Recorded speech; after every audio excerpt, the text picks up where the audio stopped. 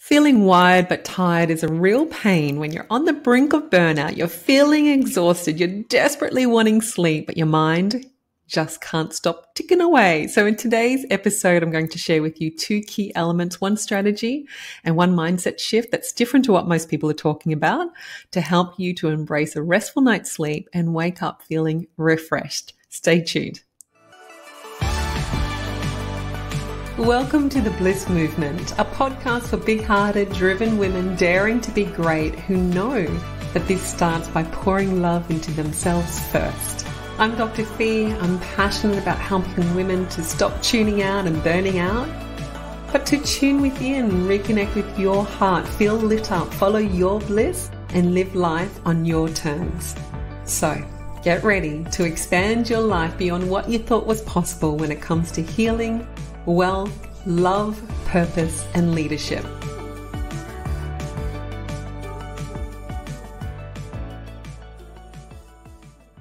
Recently, I found myself caught up in a trend on Instagram, believing that there'd been a recent study that proved that women actually needed more sleep than men. and I know I'm not alone in this. Actually, there wasn't a study, okay? And the scientific evidence on this specific topic is quite limited, certainly not de- definitive but it was really came about because of a number of influencers putting their, their opinion together and it gained traction because it kind of makes sense. And, you know, the reason why I got on board with it was because there are a number of factors that contribute to this perception that women require more sleep. And the first is that we are cyclical in nature, right? And we forget this being in a very masculine dominant world where there's this sort of expectation that our energy levels, sleep, our emotionality is a flat line, like consistent, stable. But actually, we have real hormonal fluctuations throughout our menstrual cycle. And not to mention, we also have huge fluctuations in pregnancy or menopause, right?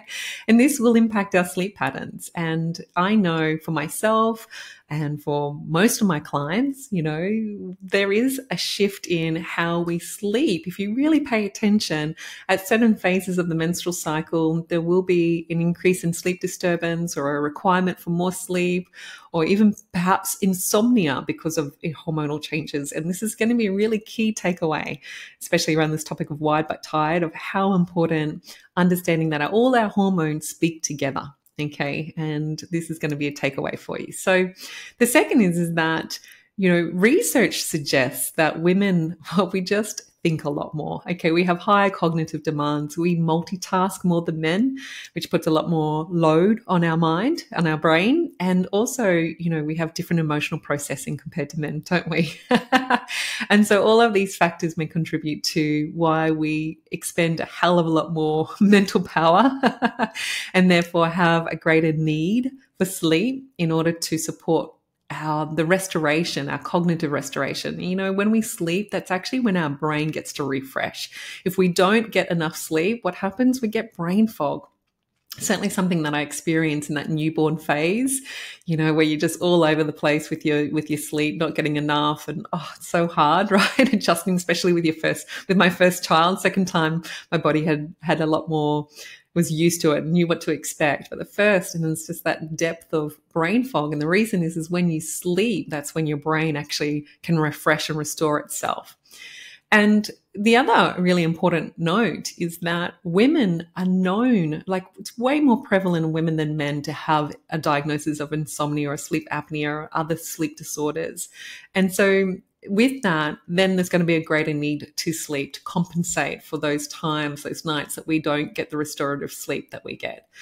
So there's a little bit of science there as we're about to, you know, step into this whole topic about wired but tired. And, you know, the first question that is always, I always get is like, well, Dr. Fee, what's the normal amount of sleep? And again, I think we just can't rely on what someone tells us in terms of what the body needs. The best thing you can do for yourself is to focus your energy and attention on knowing yourself better and really discerning what your needs are and having the confidence and giving yourself permission to give yourself what it is that you need.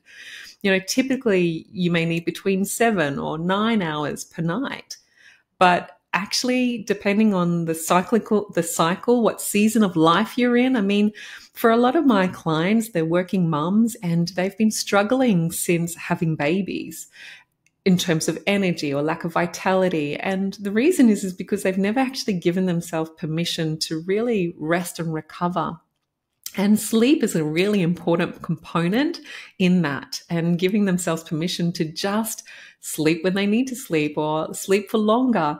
And obviously there's a lot in that because we need the support and the resources, but generally when you understand its requirement of the body and unless you give it what it needs it's going to be very hard for you to go back to those baseline levels of energy or vitality that you so desire and when we don't sleep what happens our emotionality gets really amplified what happens if a toddler doesn't get to sleep oh my gosh, you know about it. They're angry, then they're sad, they're on the ground having a tantrum, right? They get, they get really, really oh my gosh, an emotional wreck. But we're the same our emotional nature is the same. Yes, we have this logical mind, the reasoning, rational mind, but within us, our emotional nature, we still sleep and nourishment is a basic human need. And if we don't give ourselves that, it will have an impact on us on every level. So, cognitive, how we think, how we can actually access solutions, creative thinking.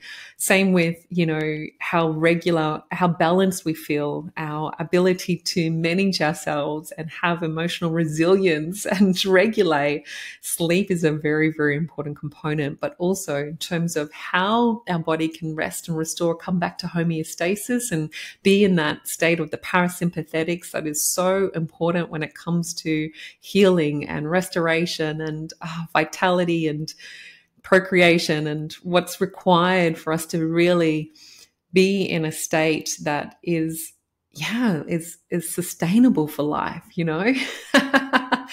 for a good good life, then sleep is important with that. And and and I just as a society, we just don't get this because, you know, in America, they're saying like 50 to 70 million Americans have chronic or ongoing sleep disorders. Australia, it's probably similar in terms of percentages because this is research back from 2017 and it says two and three adults report at least one sleep problem. So most people will say that there's something not right with their sleep. And almost half, like one in two, have at least two sleep related problems. So that's like difficulties going to sleep, waking up during the night, waking up too early, you know, a mixture of those.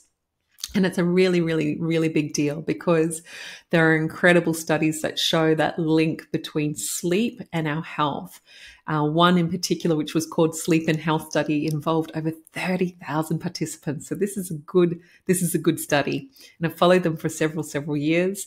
And what they showed is that those who slept less than six hours or more than nine hours per night had a higher risk in developing all the chronic health conditions, um, obesity, diabetes, heart disease, but also mental health disorders. So again, sleep is important.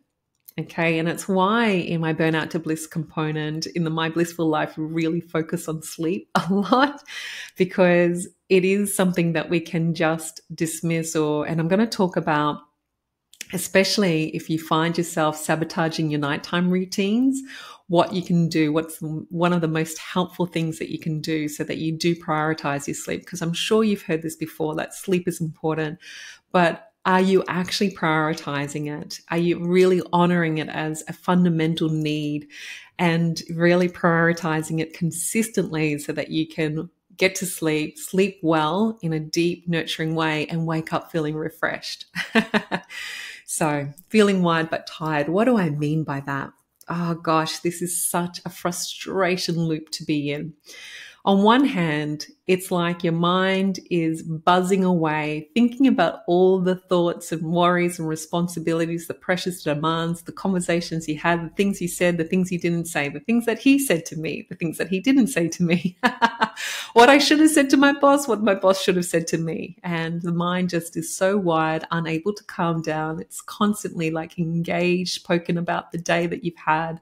And so you can't actually settle or feel a state of calm or, you know, actually support yourself to sleep because of this buzz. It's like it is a buzz, even when the body is desperately in need of rest. And so, on the other hand, you know, there is a sense of just absolute ugh, depletion, exhaustion, a sense of fatigue because of the burnout. It can be so overwhelming, like a bone tired.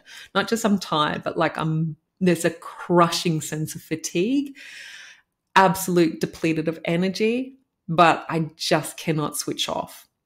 And it, you cannot find that ability to drift off to sleep, or if, if you if you do, you wake up and you wake up frequently or you are, you know, it's like you're switched on during the night. It's like you're just under the surface of sleep. So any sound or a, a little snort from your partner or, you know, your kids move in the bed and you can hear it. It's like a part of your mind is still ticking away, noticing the environment and looking out for, it's like hyper vigilant.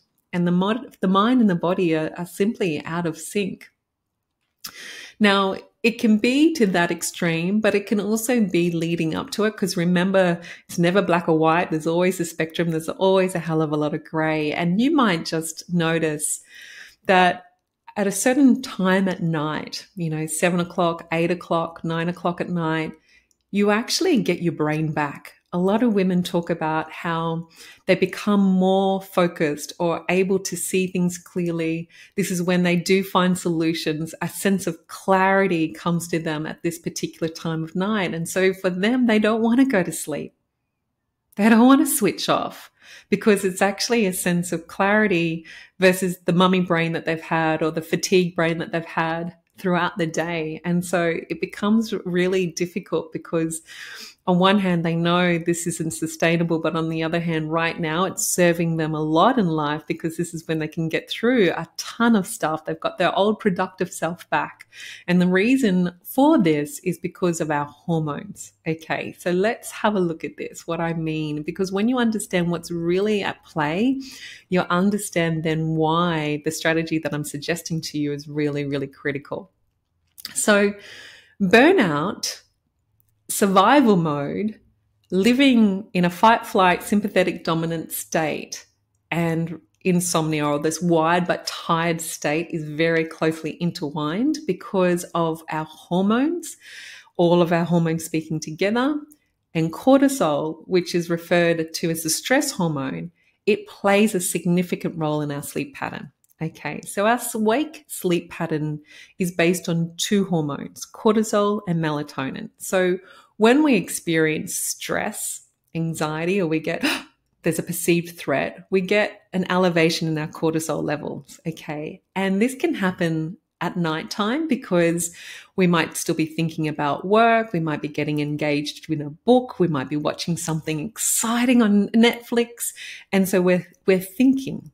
Now, as you've heard me talk about before, stress is not the baddie. Stress is, there is a role for stress in life. Stress, you know, having a cortisol surge can be really helpful in boosting our immune system, helping us to think, be productive, stay focused. but it, when we're in a state of prolonged stress, this is where things go really haywire. And so at nighttime, you're supposed to have a dip in your cortisol. You know, it's to go really low. And the reason is, is because cortisol and melatonin, melatonin is your sleep drug. So if cortisol is pre- present, it actually suppresses your melatonin. So this is really important. If you're activating your cortisol, you will not have the sleep drug. You will not be able to support yourself or just switch off and go to sleep straight away because you've got too much of a physiological shift happening that's there helping you to think things through. You feel restless. You want to get out there and do stuff. So you can't actually relax into that deep sleep.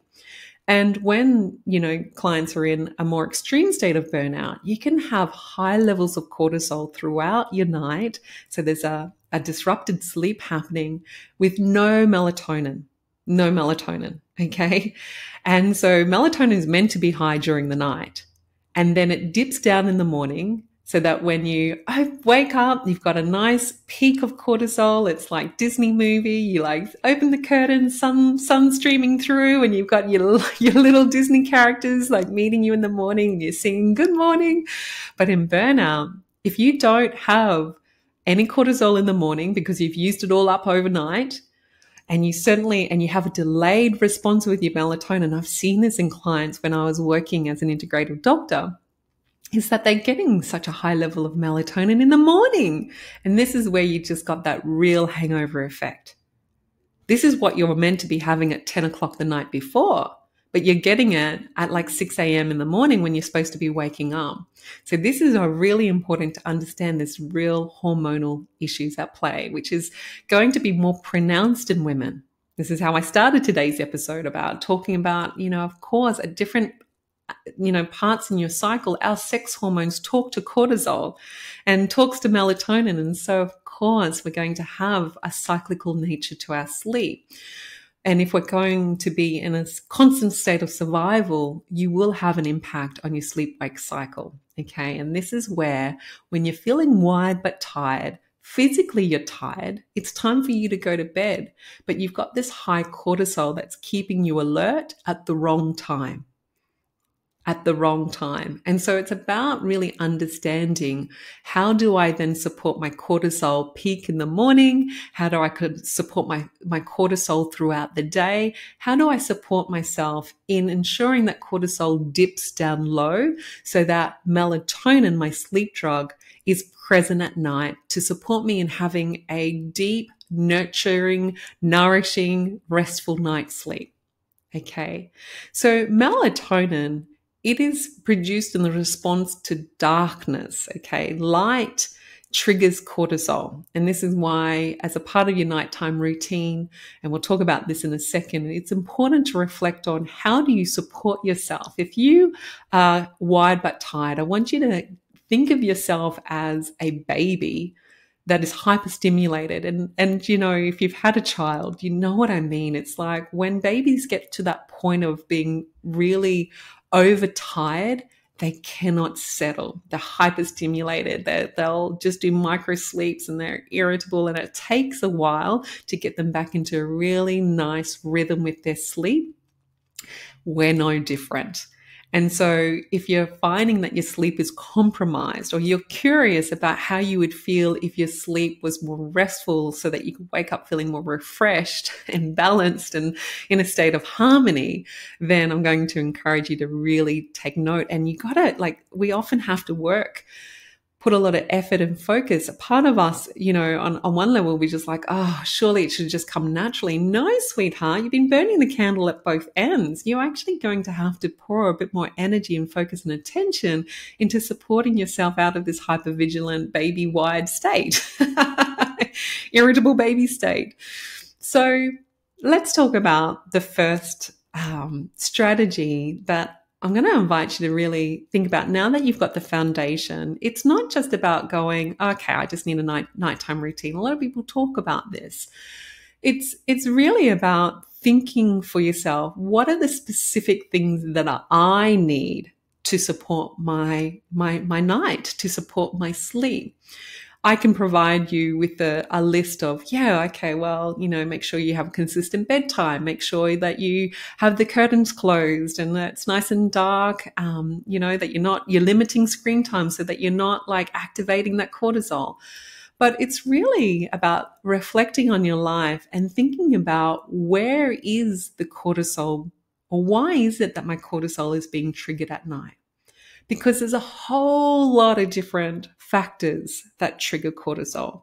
It might be how you're spending your day. If you're just racing and pressured and you're just like under the under the pump and you're not actually supporting yourself and on a on a level your cortisol throughout the day, then that might be a big factor. It might be that you're eating way too much sugar before you go to sleep that triggers cortisol. It might be that you're not necessarily using screens, but you're activating your mind by reading a lot of, I don't know, adventure. One of my clients who reads a lot of um, fantasy romance and books. And it might be that that just gets you really activated. It might be Netflix and scrolling on Instagram is just keeping you thinking. So you might be wearing all the, the glasses and putting the right filters on your phone and all of that. But actually it's just that you're triggering cortisol overthinking and then of and, and expecting yourself just to switch off and it might be that you know, for my clients, and this is what I teach in a burnout to bliss, it's it's about process. It's about actually thinking about what are the things that I get to take away versus just adding in. A lot of my clients have tried adding in all like the sleeping tablets or melatonin or magnesium and bars and all these extra things. But actually, sometimes you get the greatest shift by considering what do I need to remove in order to support my cortisol not to be spiking at that time of night. So that's the first one. Now, let's talk about when you are wired but tired and you really want to prioritize your sleep, but you just find yourself doing the exact opposite. Now, if that's you, I'm not beating you up. I have a lot of compassion. Most of my clients in my community have been in this experience and really doubling down on your nighttime rhythm is key for you to then start the next day. You know, sometimes we can be focused on all the things we got to do and add in like meditation in the morning, going for walks and all of that. But if you don't, if you don't rock your nights, if you don't buckle down and really take care of yourself and really prioritize an awesome, what I call a 90 night rhythm, there's no chance of you eating healthy tomorrow or going for exercise, doing your exercise or waking up early, being to work before, you know, with a, with, with lots of energy, bright eyed, bushy tail because you just didn't have the nighttime sleep. You didn't, you didn't really do the things that are really important that's going to support all of that. And so often you'll find, like a lot of my clients will find themselves sabotaging themselves, even though they know better. I need to get to bed. I need to have sleep. I need to, you know, I get to wind down, have a bath, drink some chamomile tea, take my magnesium, you know, do all the things that are going to support me. But you know what? I just, I'm just not going to do it. I just keep slipping up. I I keep wanting to watch Netflix. I keep wanting to sit on the couch and talk to my husband. I do the exact opposite. And the reason is, is because there's an emotional need in that sabotage. Like once you just understand that often the thing that trick, trips us up with our nighttime ry- ry- rhythm is that there's a requirement, there's a need for me time. And I'm going to invite you to think about that in your own life. Like, for it might be that there's a need for connection and you want to spend some time with your partner, but very often, you know, it is this endless scrolling or it's this catching up on Netflix or, you know, sabotaging yourself with doing all the things or, you know, maybe it's just like you you finally ticked off your entire list and now it's time to go to bed. But actually I just want to go sit on the couch and have some me time. And it's just we gotta we gotta honor that. We gotta just recognize that that's really what's at play. It's not bad. We're not bad for wanting to have me time. It's a basic human. we gotta meet our own emotional needs. Me time is so so important. But the question then becomes, okay, if that's what's really at play, how do we then give ourselves what it is that we need at a different time? Because if you don't do this, you're going to sabotage yourself no matter how many lists you have or instructions or how many promises you give yourself. I just got to get to bed early. I just got to get to bed earlier. If you're not actually giving yourself me time at other times in the day or week, you will sabotage yourself. Now, if it's your connection with your partner that's sabotaging why you're getting not able to actually switch off and go to bed, or, you know, maybe you're eating all the wrong things because you've been feeling stressed out, or maybe it's because you're drinking too much alcohol and then you're feeling better, but then uh, you start feeling anxious during the middle of the night and you wake up feeling hungover and all of those things. It's about recognizing why are we doing that? And let's solve that because your emotional nature wins for better or worse every single time. It doesn't matter if you're taking all of the right things, adding in all these things, or have the best intentions with your nighttime rhythm. If you don't actually meet your emotional nature, work with it, you will sabotage it. So I really hope that these two things have triggered you to think about your sleep in a different way and how to support yourself if you are experiencing that wired but tired. It's about really looking at how do I support myself on that level of removing the triggers for my cortisol. So, what, what can I remove versus adding in? What can I remove that's going to really help me and support my body to switch off and actually support melatonin to come and have the sleep drug there so I can fall off to sleep and have a restful sleep. But also the other element of mindset of really taking care of ourselves and nourishing and nurturing, prioritizing our sleep, even though there's been a pattern to sabotage it. Now, if you're interested in more about it, I love supporting women to really get to know themselves, honor their needs, give themselves what it is that they require so that they can show up powerfully for themselves and others in life. And this is about reclaiming your life every single day. It is really like we've just touched on a little bit when it comes to how to honor your sleep and really you know, if you're not sleeping well, you're feeling wired but tired, it is a wake up call. It is a signal that your body is giving you saying, hey, you know, your hormones are out of balance. Hey, time to take attention because otherwise we're spiraling into collapse or a train wreck when it comes to our health, but also relationships and also how we show up powerfully in life. And if you want some support with that, then I, I can't wait to connect with you.